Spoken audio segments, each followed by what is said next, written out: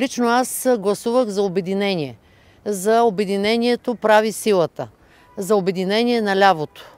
Не просто за механично събиране с цел власт, не механично събиране на партийни абревиатури, а обединение около принципи и ценности.